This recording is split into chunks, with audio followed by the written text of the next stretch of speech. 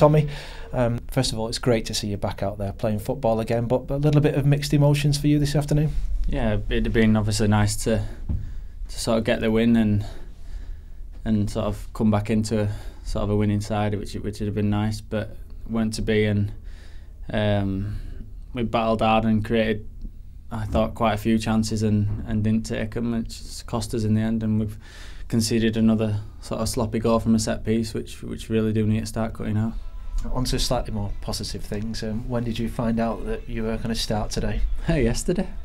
Um, just named the team and sort of I was in it, so I was, was buzzing and, and I say I thought I thought I'd done all right and didn't really have hardly any defending to do at all and managed to put a few crosses in and join in and I went went as blowing as I thought I would be. Well, what eventually has sorted the problem out? I ain't got it in now. No, I know you can describe it. Have you got it? Yeah, it's in, it's in. I'm not showing you it. All right. Okay. Um, it's basically just a mouthpiece that sits on top of my bottom teeth, and um, once you the theory behind it is once you bite and bite down and swallow, it activates certain muscles that that weren't working. I've had it in now like three months, like all the time, and you're supposed to like then just wear it when you're playing and training and doing any sort of exercise. But I think I'm gonna then take it out.